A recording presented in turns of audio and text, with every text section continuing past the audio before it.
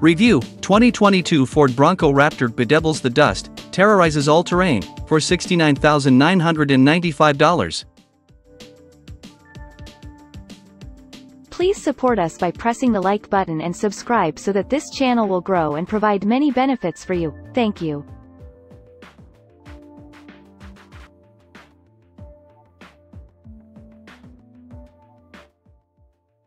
You don't use a sledgehammer to drive in a picture hook. You don't swat a fly with Edwards Scissorhands. And you certainly don't make a bundt cake in a springform pan.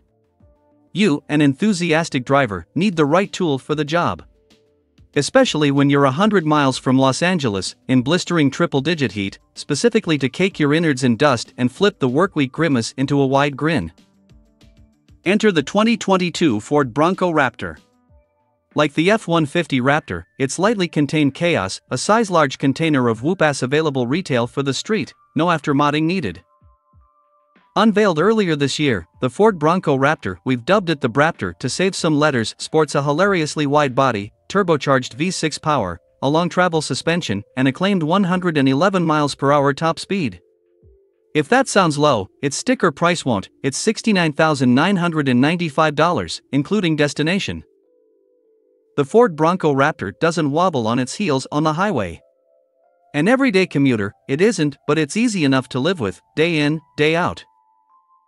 It's purpose built for high speed, off road rampages.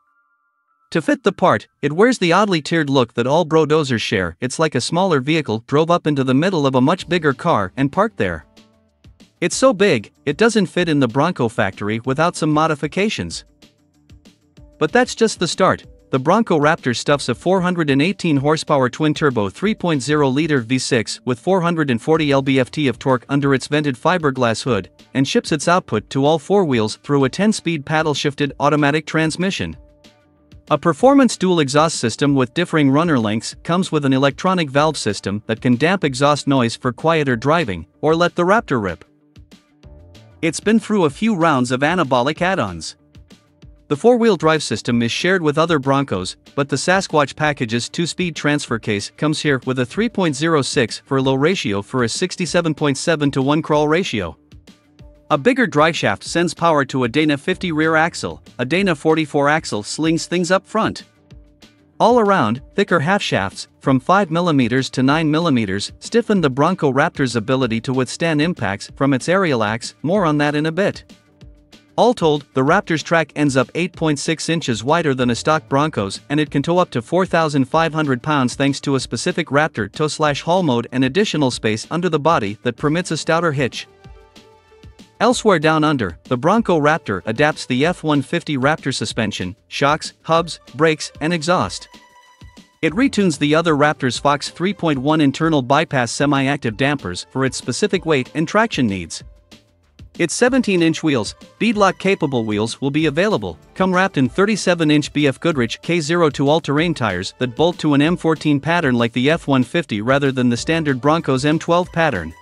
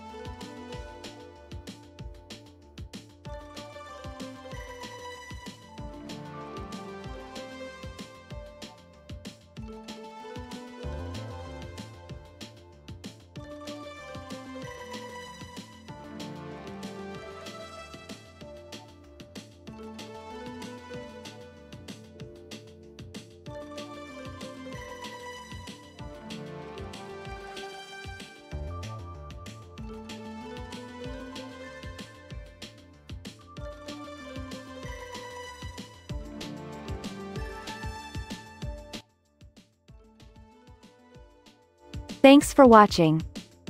Drop a like. Leave a comment. And don't forget to subscribe to watch more videos like this.